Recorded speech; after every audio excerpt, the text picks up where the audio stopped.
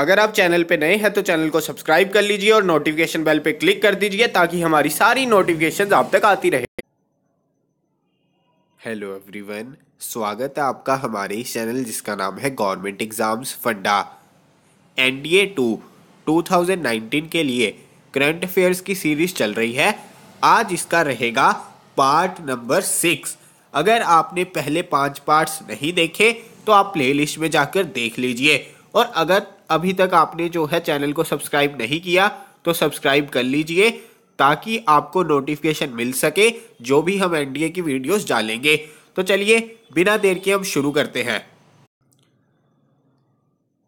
तो आज का जो हमारा पहला क्वेश्चन है what will be the theme of international day of yoga 2019 in India देखिए, इस बार थीम क्या थी इंटरनेशनल डे ऑफ़ योगा की, जो 2019 में हुआ है। सबसे पहले इंटरनेशनल योगा डे किस दिन मनाया जाता है?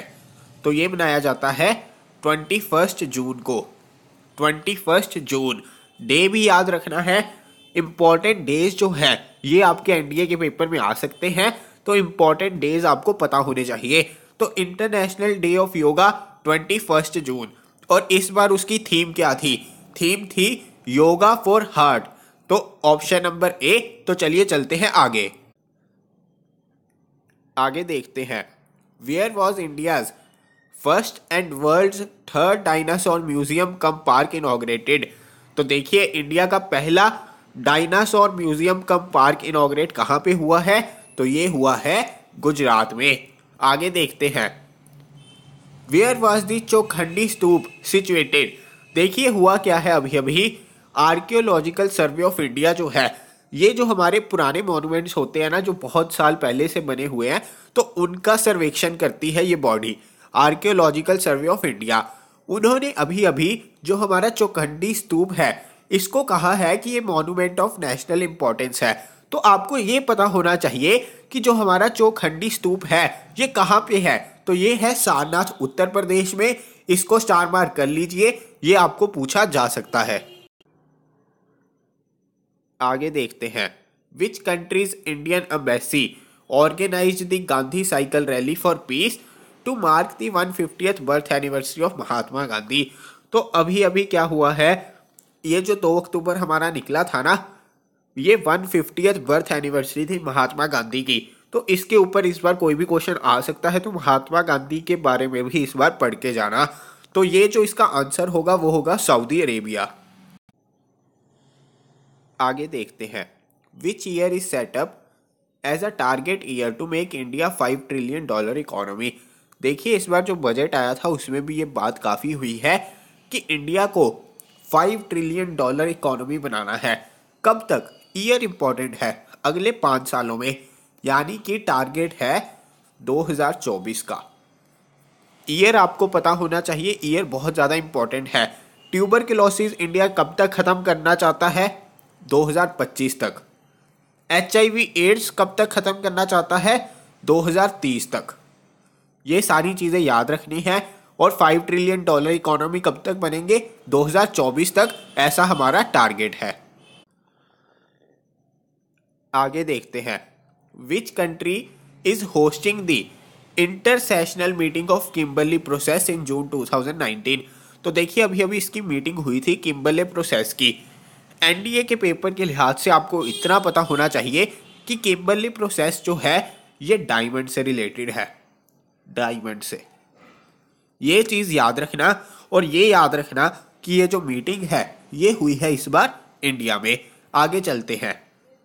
Which country is set to host the fourteen session of the conference of parties of United Nations convention to combat desertification तो देखिए, ये हुई है न्यू दिल्ली में। अब ये यूएनसीसीडी क्या है? United Nation convention to combat desertification इसका क्या मतलब है? इसका ये मतलब है कि जो हमारा लैंड है लैंड है, उसकी फर्टिलिटी कम हो रही है, वो कम उपजाऊ हो रहा है, जिसकी वजह से वो डेजर्ट बनता जा रहा है। डेजर्ट मरुस्थल। तो वो लैंड जो है अपनी फर्टिलिटी लूज ना करे और डेजर्ट ना बने। उसके लिए जो स्टेप्स उठाए जाते हैं, उसके लिए जो आपस में कन्वेंशन साइन की गई है। उसको कहते हैं United Nation convention to combat desertification और इसकी मीटिंग इस बार इंडिया में हुई है। इस वजह से ये इम्पोर्टेंट है। तो ये आपने मुझे ये बताना है कि यूएनसीसीडी के हेडक्वार्टर कहाँ पे है? हेडक्वार्टर ये आपने सर्च करना है और नीचे कमेंट बॉक्स में बताना है मुझे। By which year the central government has decided to provide clean drinking tap water to citizens तो देखिए, हमें सभी लोगों को साफ़ सुथरा पानी पीने को मिलेगा। इंडिया के सिटीजन्स को वाटर क्राइसिस चल रहे थे। ये बहुत ज़्यादा इंपॉर्टेंट क्वेश्चन है इस बार का। तो कब तक गवर्नमेंट ने डिसाइड किया है कि सभी को साफ़ सुथरा पीने का पानी ज़रूर मिलेगा? तो ये ईयर है 2024 फाइव ट्रिलियन डॉलर इकोनॉमी भी 2024 साफ़ पानी 2024 ट्यूबर क्लोसिस 2025 एड्स ख़त्म करने का ईयर 2030 सारी चीज़ें याद रखनी है, बहुत ज़्यादा इंपॉर्टेंट है। Where was world largest multi stage multipurpose Kaleshwaram lift irrigation project देखिए, ये क्वेश्चन आपको डायरेक्टली आएगा कि कलेश्वरम इरिगेशन प्रोजेक्ट जो है, ये किस स्टेट में है या किस स्टेट में इनोग्रेट हुआ है? तो ये हुआ है तेलंगाना में। तेलंगाना, इसको स्टार मार्क कर लीजिए, क्योंकि ये वर्ल्ड का सबसे बड़ा जो है मल्टी स्टेज जो है इरिगेशन प्रोजेक्ट है, इसकी वजह से ये क्वेश्चन बनेगा ही बनेगा, कलेश्वरम लिफ्ट इरिगेशन प्रोजेक्ट कहाँ पर? तेलंगाना में। आगे देखते हैं which railway station has become India first green and clean railway station तो देखिए, कौन सा ऐसा पहला रेलवे स्टेशन है जो बिल्कुल ग्रीन और क्लीन रेलवे स्टेशन बना है? ग्रीन का मतलब है कि वहाँ बिल्कुल भी पोल्यूशन नहीं है, या ऐसा सामान नहीं है जो पोल्यूशन करता है। कौन सा है ये? ये है उधान रेलवे स्टेशन कहाँ पे? गुजरात में। गुजरात। तो ये चीज़ ध्यान में रखनी है।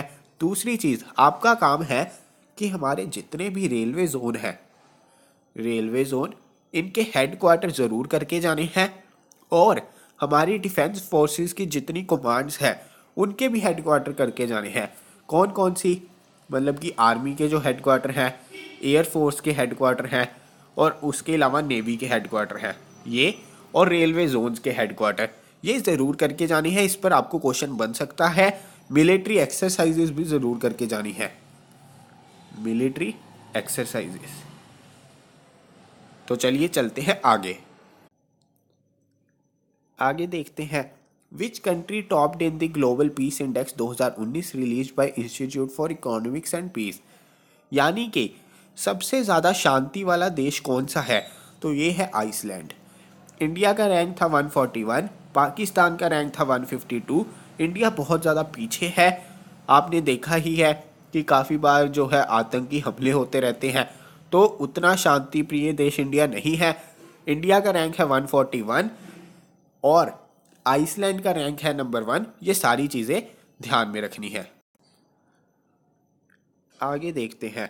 Which country set to surpass China as world most populous country by two thousand twenty seven as per U N report तो देखिए अभी अभी ये बात आई थी कि चाइना इस वक्त जो है सबसे ज़्यादा पॉपुलेशन वाला कंट्री है।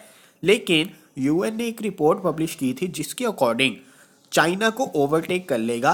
इंडिया दो हज़ार सताईस तक। 2027 तक इंडिया चाइना को पीछे छोड़ देगा और इंडिया की पॉपुलेशन वर्ल्ड में सबसे ज़्यादा होगी। फ़िलहाल के लिए सबसे ज़्यादा पॉपुलेशन है चाइना में। Name the crypto currency which is set to be launch by Facebook देखिए, ये नाम बहुत ज़्यादा इंपॉर्टेंट है। फेसबुक जो है क्रिप्टो करेंसी लॉन्च करेगा 2020 में। उसका नाम है लिब्रा लिब्रा ये चीज़ ध्यान में रखनी है। आगे देखते हैं। पहली गल्फ कंट्री कौन सी है जिसने anti money laundering platform go ML जो है उसको लॉन्च किया था? सबसे पहले आपने क्या चीज़ याद रखनी है कि गो एमएल क्या है? ये है एंटी मनी लॉन्ड्रिंग प्लेटफॉर्म अगर आपको ये पूछा जाए गो ए एम एल किसने लॉन्च किया? उसका आंसर होगा यूएई ने यूनाइटेड अरब एमिरेट्स ने। अगर पूछा जाए गो एम क्या है तो ये है एंटी मनी लॉन्ड्रिंग प्लेटफॉर्म इसमें क्या है? जितने भी हमारे बैंक्स हैं या और फाइनेंशियल इंस्टीट्यूशंस हैं, वो क्या करेंगे? एक एक चीज़ की रिपोर्ट देंगे। रिपोर्ट देने से क्या होगा कि कोई भी इलीगल एक्टिविटी होगी इलीगल ट्रेड होगा, पैसे का वो पता चल जाएगा, जिसकी वजह से टेररिज्म रुकेगा क्राइम रुकेगा ड्रग्स रुकेंगे। तो ये लॉन्च किया है यूएई ने। तो चलिए आज के लिए विराम लेता हूँ। ये थे हमारे पार्ट सिक्स के इम्पोर्टेंट करंट अफेयर्स एनडीए के। जल्दी मिलेंगे हम अपनी अगली सीरीज़ के साथ। Thank you so much